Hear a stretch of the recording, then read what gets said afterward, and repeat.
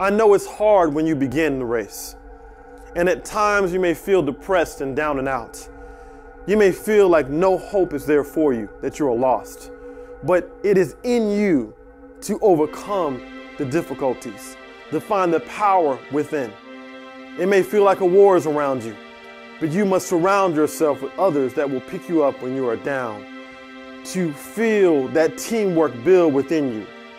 You may feel devastated, but with your team around you, you can overcome your struggles. You can find your horizon as you go towards your goals.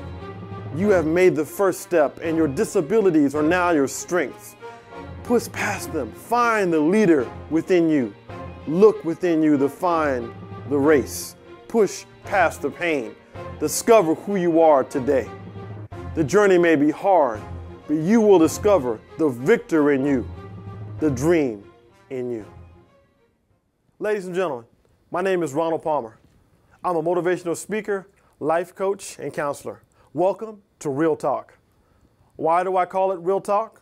Because we're going to talk about things that on a daily basis you probably avoid talking about. I'm going to issue you a 30 day challenge. And I'm going to guarantee you that if you follow some of these techniques that I'm going to give you, that your life is going to change after these 30 days. I've used this with my counseling and life coaching clients, and I've given it in seminars. And when I get my feedback back, I realize that people tell me that they can and do better with some of these techniques. The three areas that we're going to talk about is one, finding out with your passion and your purposes in your life. Number two, looking at the role of responsibility. And lastly, unlocking your power within your life. When I became a motivational speaker, I was kind of full of myself.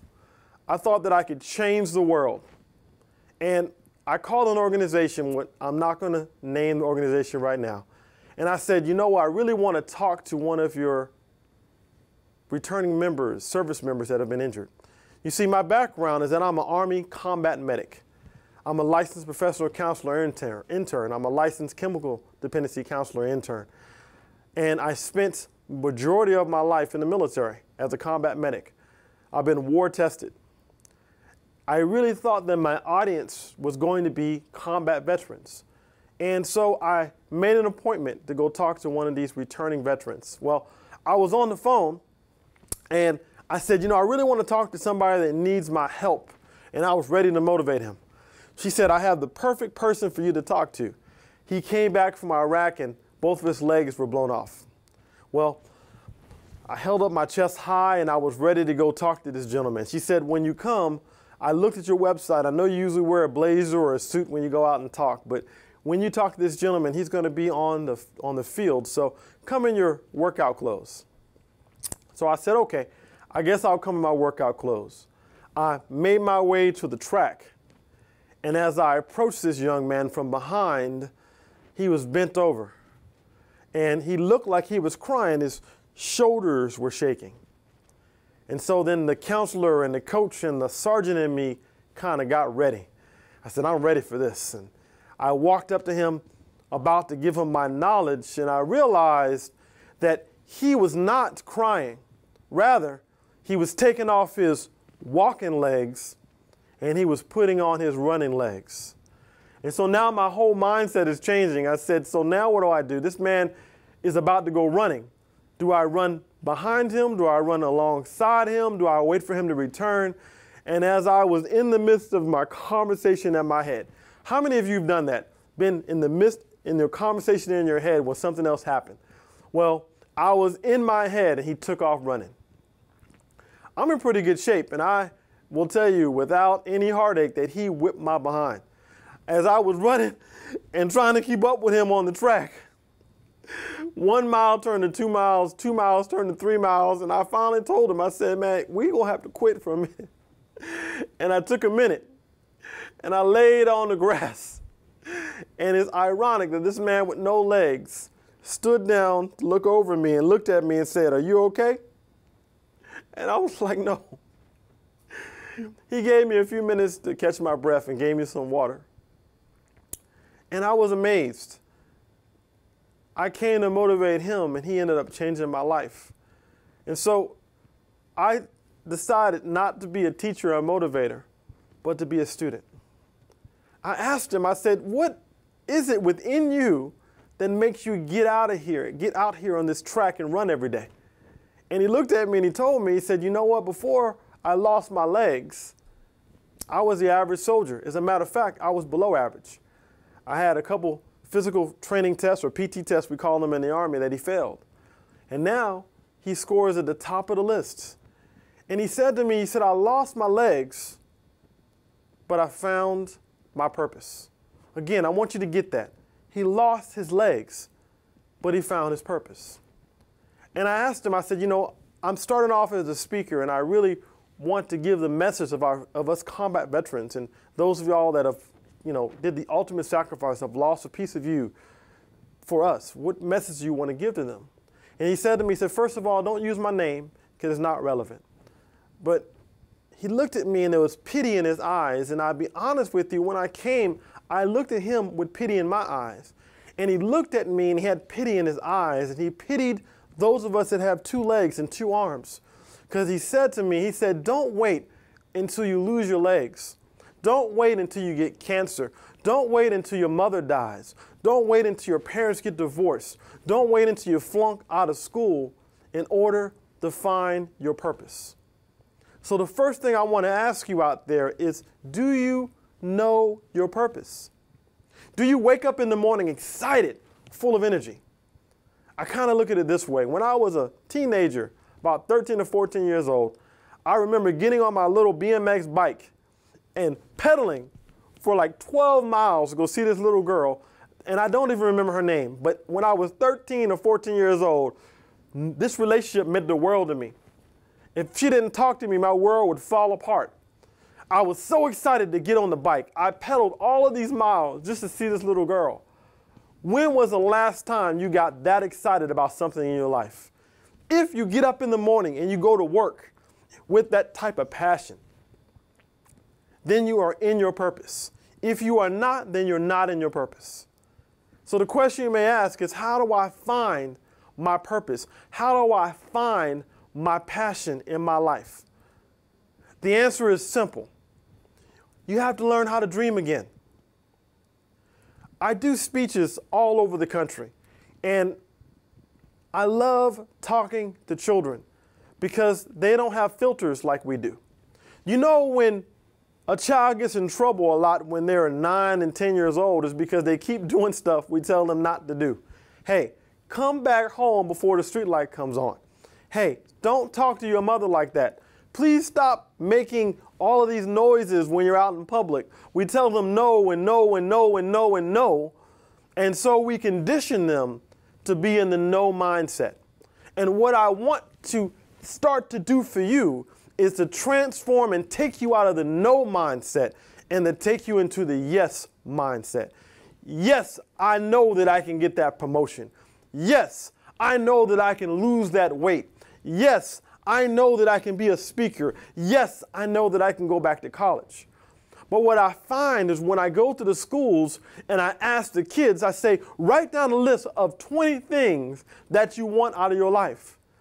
And these kids, within a few minutes, fill up the front of the page, the back of the page, and most times they ask for another sheet of paper. When I ask the same question to adults, the 20 items become 10, the 10 items become 5, and the 5 items become 1 or 2, and they take 30 minutes to do it. Why? I want you to think right now. If I asked you right now, name 20 things that you want out of your life, and I don't care what they are, they can be a brand new house, a brand new car, a better relationship. Write down 20 things that you want out of your life. What happened internally? What was that internal conversation in your life or in your head? What was that? I can tell you right now what some things that came into your mind. Well, I would love a new car, but I don't make enough money.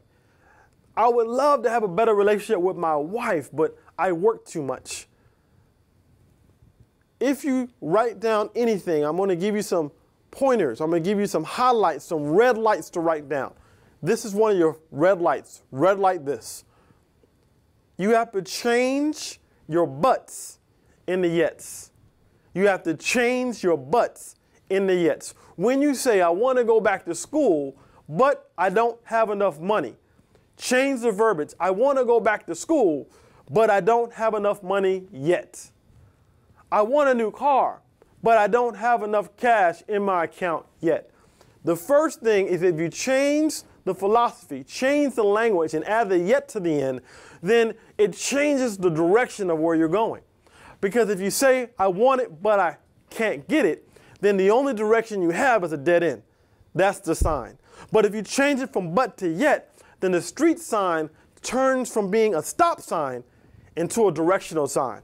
Now I know that I have to go left or right because you do have choices in order to be successful.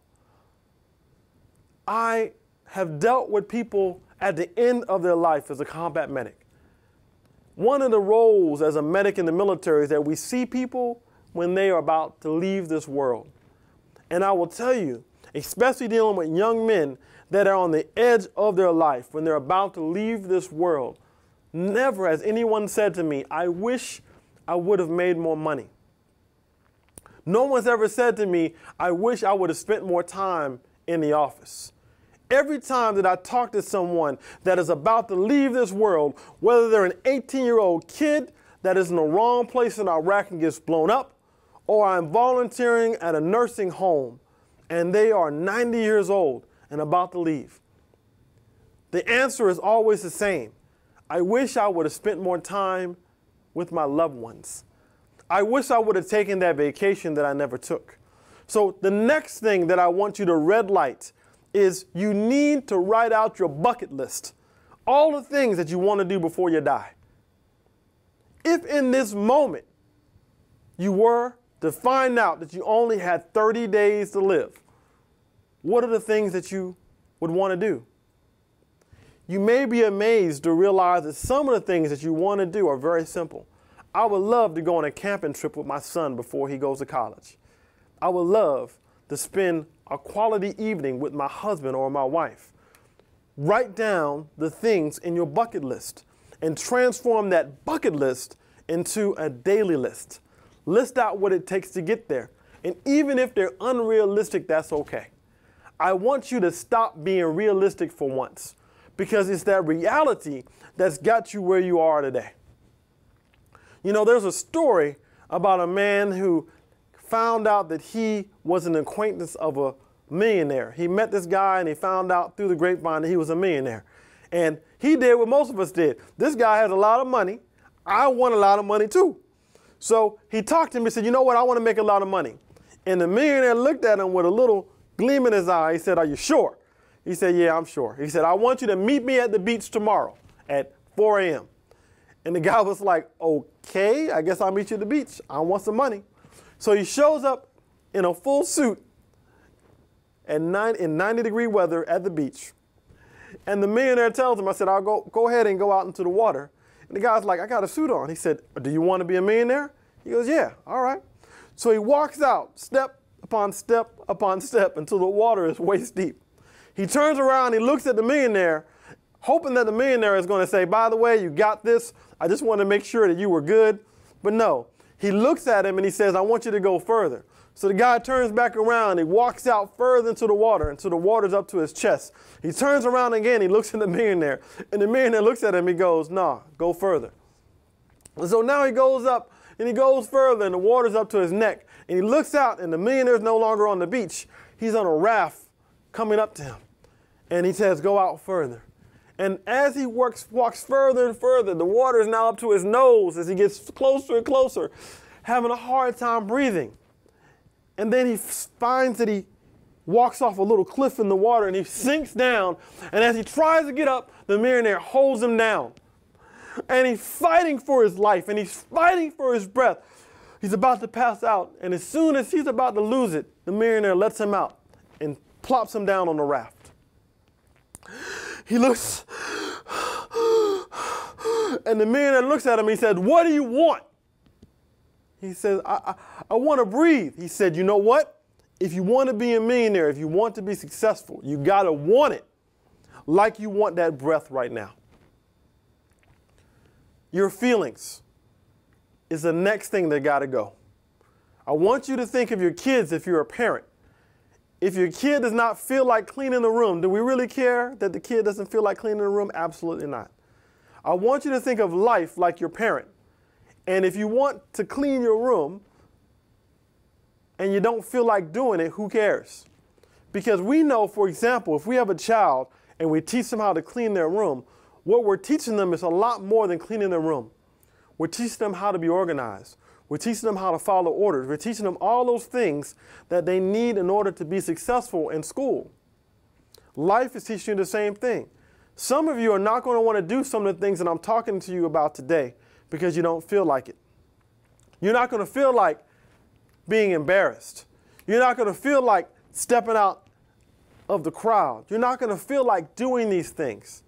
But what I want to tell you, just like a parent would tell you, who cares what you feel like? You have to be uncomfortable sometimes in order to find what true success is in your life. Step one passion. Red light for you. Passion. What are you passionate about? Sometimes you're going to find out that the things that you are passionate about are found in the things that you hate the most. I'm going to give you an example. I'm in the military, and I had a sergeant major, which in the Army is the highest rank you can go in the enlisted realm. And he came to me right before he retired, and he said, Sergeant Palmer, I don't know what I want to do with my life, man, but I got to do something. I've done 26 years in the military, and I just don't know what to do next. Are any of you in that same situation? You're at a point in your life where you don't know what the next thing is? Well, we talked a few, and we had a few consulting and life coaching sessions, and he told me about something. He came from a neighborhood in California that were full of gangs. And he said that he had an option when he was a teenager that the judge told him that he had two options. Either you can go in the military or you can go to jail. Well, that was a, you know, that was a very easy choice for him. He said, I'm gonna join the army then. He went in the army and so many times did he almost get kicked out for drinking, for drinking and driving, for being insubordinate, for yelling back at people, for getting into fights. Which is kind of ironic to me because this man now 26 years later, is one of my mentors. He is the standard in which I measured myself as a soldier. His military bearing, the way he carries himself, the respect that he demands. And so to understand that this young man at the time came from such humble beginnings. And he talked about the kids and teenagers in his neighborhood because when he goes back home to visit his mother and his relatives, he realized that a lot of his friends were either dead, in prison, or on their way to one or the other. And when he talked about it, he'd get upset. He said, You know, man, I can't stand these kids, always in trouble. Nothing for their lives, and the veins would pop out on his neck. And this was a, a big man, so I had to step back a little bit. But in that moment, and in his eyes, I saw the passion. And I asked him a simple question I said, let me ask you a question. As we looked on the computer of the statistics in his neighborhood, we realized that only about 20% of the people in the high school that he went to were going to graduate. And out of that 20%, only 5% of them were going to go off to college. And that was unacceptable. I said, close your eyes for a moment. I want you to imagine a foundation, and I'm going to call him Sergeant Major Smith. I said, imagine the Smith Foundation. And in the Smith foundation. We took these kids off the street, we educated them, and we flipped the script. Where now, instead of 80 to 90% of those kids going to prison or jail or flunking out, that 90% of those kids were now going to college. And before I could even say the next thing, with his eyes closed, the biggest smile came to his face. I said, Open your eyes. And he looked at me and said, You know what? Now I know what I want to do with my life. Do you know that man now is responsible for getting hundreds of kids off the street? Think about it for a moment. What is the one thing that gets on your nerves? What is your pet peeves? Is it people cutting in line? Is it customer service or bad customer service? Is it people that don't take care of children? Sometimes the thing that upsets you the most is the key to what you should do for the rest of your life. If you do not like it when people abuse children, then maybe you need to be an advocate. Maybe you need to join the Child Advocates of San Antonio. Maybe you need to become a CASA. If you realize that you don't like it when people disobey the law, then maybe you need to be a police officer. And again, I don't care about the reasons why you can't. People tell me I can't become a police officer. I can't become a counselor because I don't have enough money. I can't join the army or do any of those things because I'm overweight. Here's the reality you are not going to be ready for something in the beginning. The reason why you go to college is so that you're different at the end. It is time to make that journey. I want you to think about what targets, what things you're aiming at right now. When you got up this morning, what were your goals? It is, you know, most of Americans are okay with the status quo. Do you know that less than 10% of Americans have any detailed written down goals for their lives? Do you get that? Less than 10% of the people in their daily lives know what they're going to do.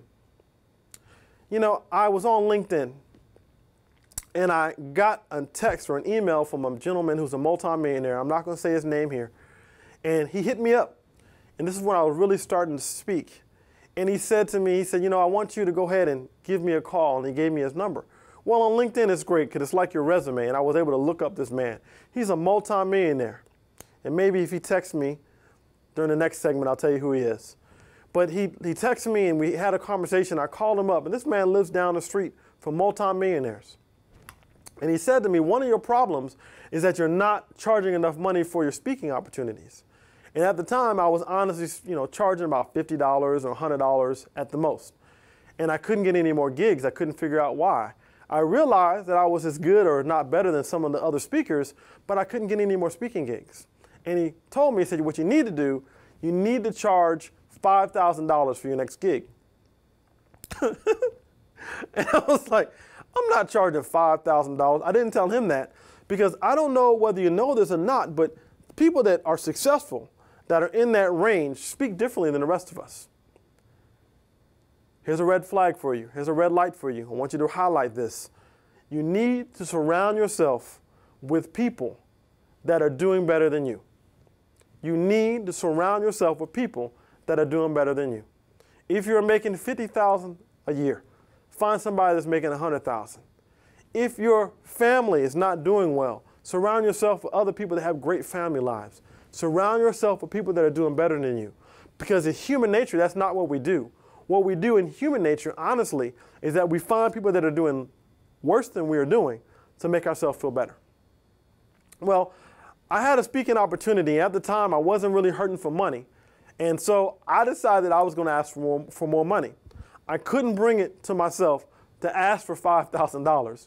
So I said, you know what? Um, and I was kind of timid, honestly, on the phone. I said, um, you know, hey, um, okay, I'm ready to do this gig. Um, well, for this opportunity, I'll just, you know, I'll, I'll take 3000 And the gentleman on the other end of the phone, he said, okay. And it blew me away that he said, okay. Well, I found out later that they had paid all of their other guests between five to seven thousand dollars. And if I had asked for five thousand dollars, I would have got it. What does that tell you? You get what you ask for. You get what you ask for. What I want you to do next, here's a red flag, a red light for you. Find a mentor. Find a mentor. And when you find a mentor, your mentor needs to be doing what you want to do. It is not enough to find somebody that's making the money you want to make because money is not success. So let's talk about that for a minute. What is the definition of success? So many of us in our society believe that success is making a lot of money. If that was the case, then you wouldn't have movie stars and a lot of these people committing suicide. On my blog and on my posts, I got a lot of posts about Robin Williams and the fact that he was in depression and, and, and killed and committed suicide. I was a crisis counselor here in San Antonio, and my job was to go to the hospitals, to the jails and to people's homes when they were either, when they were either homicidal or suicidal. That means that I was an expert in seeing people at their worst. Here's the reality. Many of you right now who clicked on this link, who opened up your phone, who opened up your computer, who found this on YouTube, are hurting. You step out your door every day, but on the inside you're in pain, and on the outside you're smiling. This really hit me when I was in Germany. I was stationed in Stuttgart, Germany, is where my son was born. And when I was there, the impression I got, and a lot of us got of the German people, that they were very mean, tough people. They didn't smile a lot. But I ended up getting a few German friends. And then when I talked to them, they told me that Americans are fake. I was like, what? Fake? Americans ain't fake. And he looked at me, he said, okay, man, if you're in the subway or you're in a train and somebody said, what's up, how you doing? What do you say back? I say, I'm fine. And he looked at me in my eyes, very serious. He said, but are you really fine?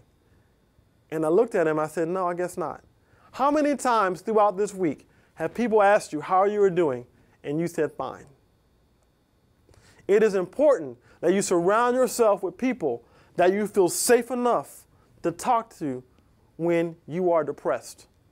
I don't know all the situations or circumstances for, for Robin Williams, but I will tell you this. If he was in a place of safety that he could have told others, I'm not doing well, then maybe he would have still been with us. Any of you right now that are not doing well, you need to be brave enough to look out and say, I am not doing well. Because just like in his case, he looked very successful on the outside. It doesn't matter if you have a if you have a thousand or a million dollars in the bank. It doesn't matter if you have a mansion. It doesn't matter if you are successful on the outside if you do not have that same success on the inside. Some of you are successful right now. Some of you are on the way to be successful, but you're still going to be depressed. So, my question to you is this Can you really be successful if you're not happy? And the answer is no. It means you have to redefine what success means for you. What is success? Success is having enough money to take care of all your bills and a little extra to take care of some fun stuff. Success is having loving relationships, having people that love you and you love them back. Success is leaving things for your children, but not just money. You know, Les Brown says that it's not what you leave for your children, but what you leave in your children that counts. You have to teach them that success is character. If you really want to be successful, then find somebody else and do for them. Back to being a mentor and finding one. First of all, you have to find somebody that is successful. Successful in their relationship, successful financially. They are living the life you want to live, doing the things you want to do. And you need to ask them those intimate questions. How's your love life? How's your sex life? How's your work life? Are you successful? If they can meet all those criteria, then they qualify to be a mentor for you. Find a mentor. And don't stop until you find one that wants to be one for you.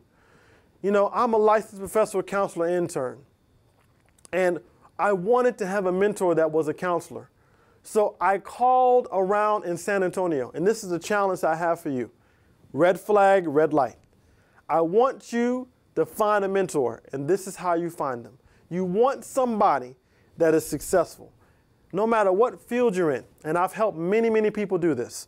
I don't care, I don't care whether you're a doctor, whether you're a lawyer, whether you're a fireman, whether you're a garbage man. No matter who you are, there are people within your field that are the top of that field.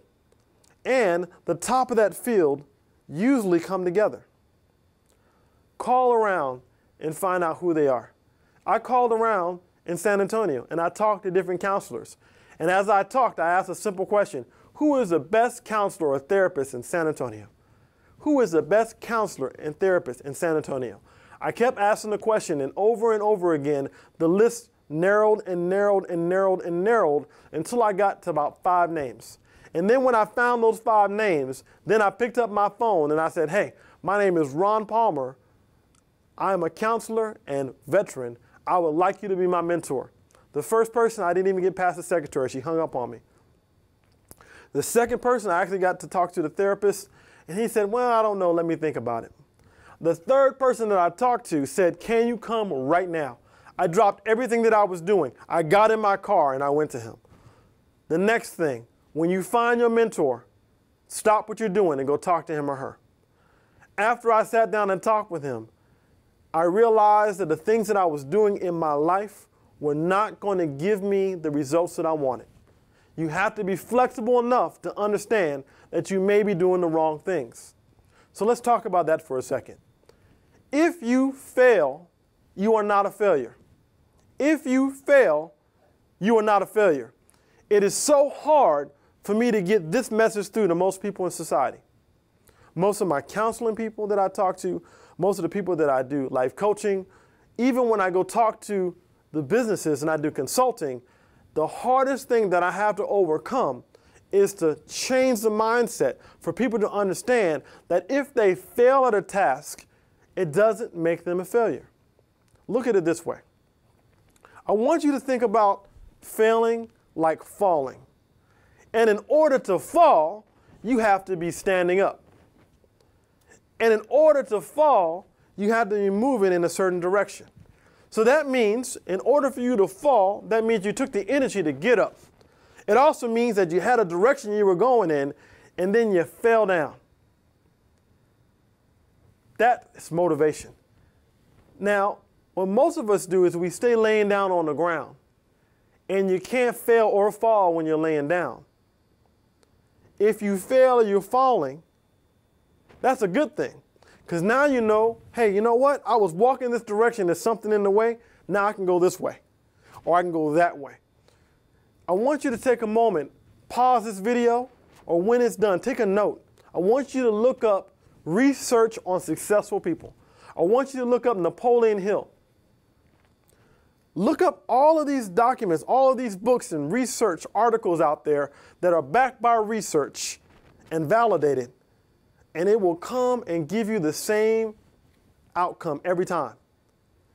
The way they became successful, the way that Ford became successful, the way that a lot of these guys earned their first million dollars is they first tried something and it didn't work. And they tried something else and it didn't work. And they tried something else and it didn't work. What's happening every time you try something? It's experience. Think about a newborn child. I want you to think of this because I realize this. I have you know, I have a, all these degrees under my belt, and I'm about to finish my doctorate degree. But I will tell you that the people and the people in my life that have really changed me and told me some information and showed me things are children. Because they do things that we should be doing in our lives that are simple. A newborn baby does not know how to walk at all. Remember, they're born and they're in the crib. As a, as a parent, the first time they can roll over is a big thing. The first time that they crawl is a big thing. But sometimes we forget that these kids, before they learn how to walk, they learn how to fall. So as a baby, the baby is looking around and they get up and they start to walk and then tumble over. But the thing about a child, unlike adults, they get right back up.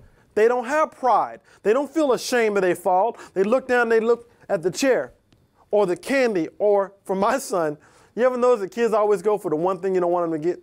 So my kid, my son, Isaiah, would always go for the power outlets. Every time he would try, I'd move him to the left, I'd move him to the right, and he would go towards the power outlet. And so he'd fall down, and he wouldn't concentrate on him falling down. He would concentrate on his goal. Now, as his dad, I didn't like the goal he had, but he looked at his goal. Red light, red flag. When you fall down, stop paying attention to you're falling, you're failing, and start looking at your goal. I ride motorcycles, and one of the things they tell you when you're in your when you're a beginning guy on a motorcycle is that you got to be careful because where your head goes, the bike goes. Where your head goes, the bike goes. Why is that relevant? Because when you're on a curve, the majority of people on motorcycles that fall, they usually fall or slide off their bike on a curve. Why? because they hit a curve, a blind curve, and they see an object in the road, and what they do is the same thing we do in cars. So when we see an object in the road and we're driving our car, we look at the object and we go around it. It's so different on a motorcycle because if you get on a motorcycle and you look at the object or the tree limb or the rock, your motorcycle is going to go where your head goes. So wherever you're looking at is what you're going to hit. So what they tell you is don't look at the obstacles, look at where you want to go. Don't look at the debris, look at the road ahead of you.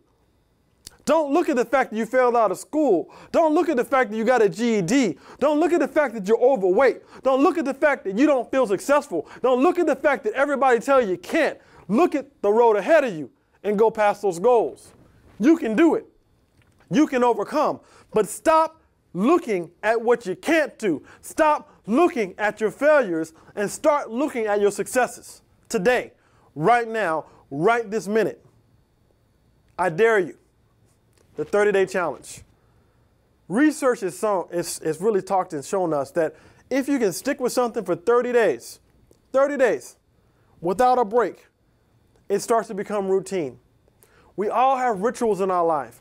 Rituals are the things you do in private that show publicly. How many of you know somebody that's successful?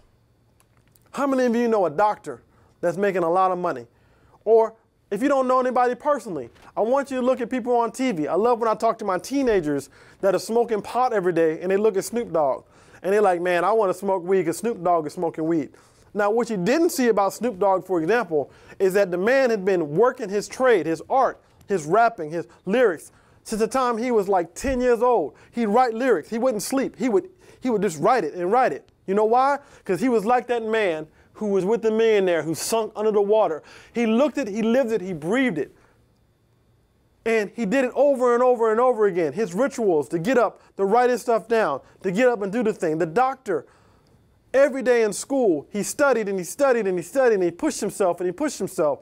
So often in our society, we look at the jet that he may have, we look at the car that he may have, we look at the car that she may be in, and we don't understand it is the rituals that they were doing privately that got them to the things publicly. Okay, so so far I've been very inspiring and motivating to you, but now I'm going to hit you where it hurts.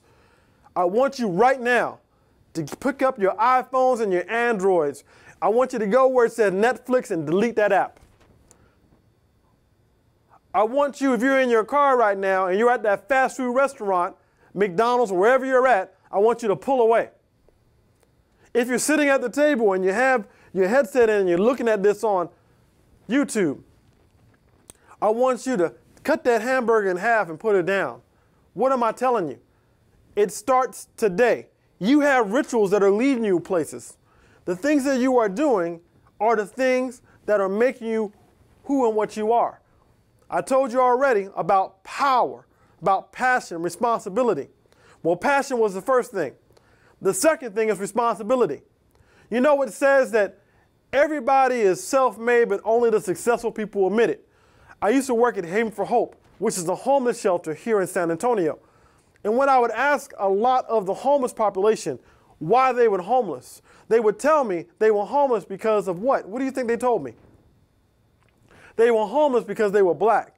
They may have been homeless because they were given a bad deal. They were homeless because of the drug problem. Now, I'm not telling you that them being homeless did not have something to do with all of those things. I'm not going to tell you that some of them, they may have lost their home, lost their job, they may have been injured. I got it. But what I found was that hardly any of them told me I'm homeless because I made a decision, and then another bad decision, and then another bad decision.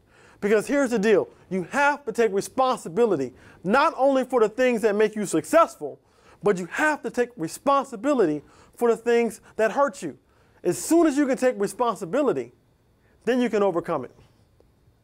I want to tell you a story to end with. Napoleon Hill writes about this guy who was one of the founders of a multi million dollar company.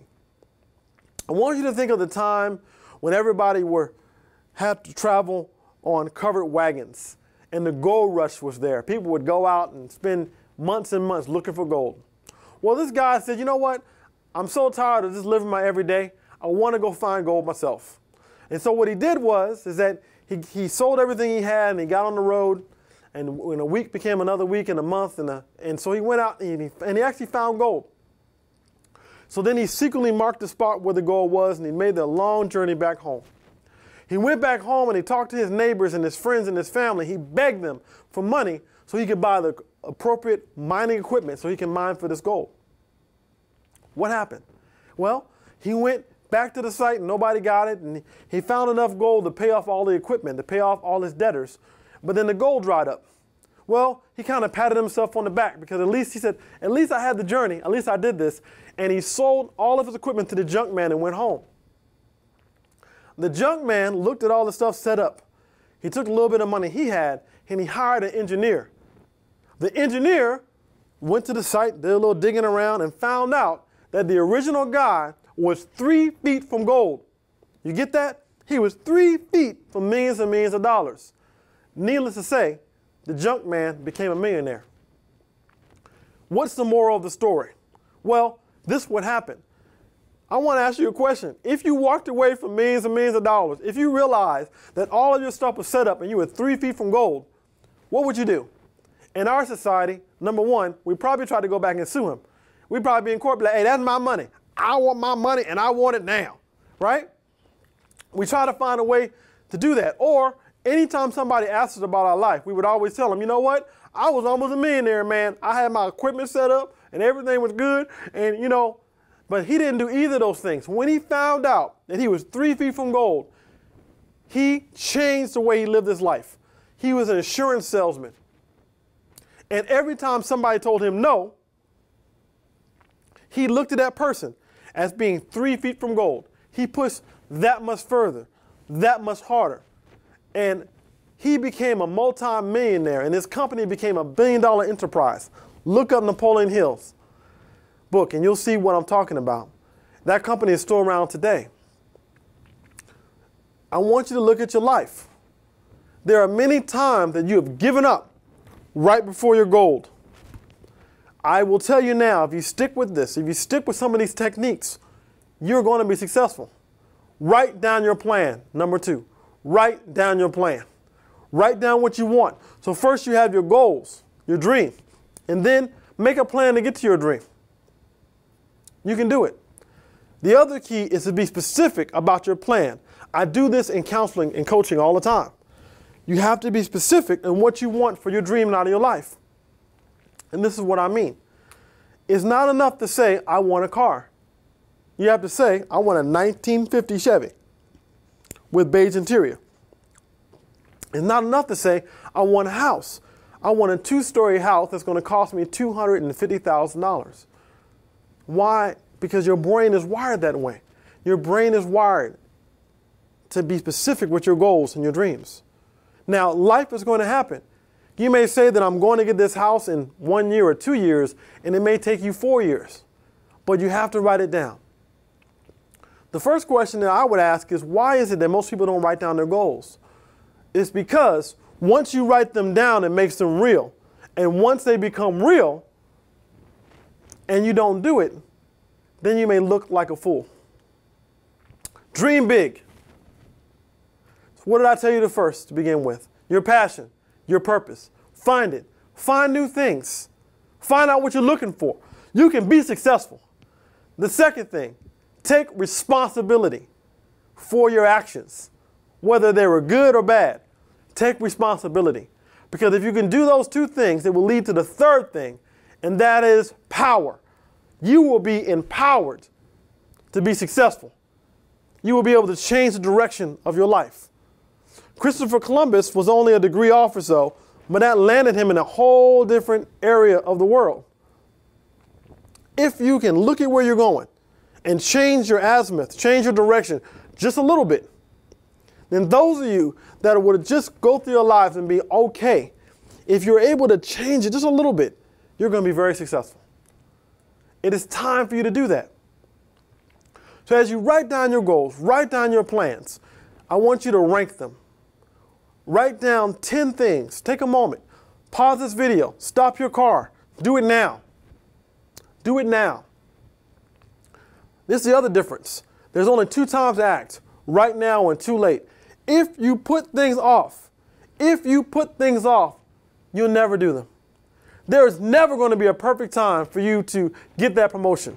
There's never going to be a perfect time for you to start your business. If you wait for the perfect plan, it'll never happen. I believe this in my heart of hearts, and there's so much research and different consulting agencies and other speakers have implemented the same thing for our clients. I believe that if you have a dream within you, you came to this earth, what things it needs to be inside of you to complete it. Let me say it in a different way. If you dreamed of a dream, you are enough to make it happen. Now, what, that, what does that really mean, though? You are still going to have to work hard. You're still going to have to push yourself. Are you ready? Are you ready to give it to the next factor? You know, Walt Disney said, if you can dream it, then you can do it. If you can dream it, then you can do it. My challenge to you on day one, this day, on the 30 day challenge, is for you to dream it right now. Write down your dreams. Don't write down what's possible. Don't write down what you can do with a lot of money. Write down what your dreams are. Number two, find you a mentor. Find somebody in your life that is doing what you want to do in your life. Find that person that's living that dream. Lastly, and I want you to get this, pull out your phones if you're not already on them. And I want you to text your accountability partner. You're like, what's an accountability partner? Your accountability partner cannot be your husband, your wife, or your significant other. Your accountability partner is somebody that's going to hold you to all of these dreams you came up with. They're going to hold you to the fire. They're not going to let it go. They're not going to let you go. I want you to text somebody right now and say, You are my accountability partner. That person is that person. If you were in the weight room and you had that weight on your chest, you're about to push it off. Oh! That's the person look down on you and go, One more time, man. One more time. You need to find somebody that you're accountable with. Somebody that you can have real talk with. What's real talk? Real talk means that you have to find people in your life that have mean love. What does mean love? Mean love means that your wellness means more to me than your feelings. So, right now, I challenge you to find somebody in your life to have real talk with. My name is Ronald Palmer, and this has been Real Talk. Remember, ladies and gentlemen, it's time to find your passion, find your purpose, take responsibility, and find your power so you are empowered to make a change. Let's get it done. Thank you.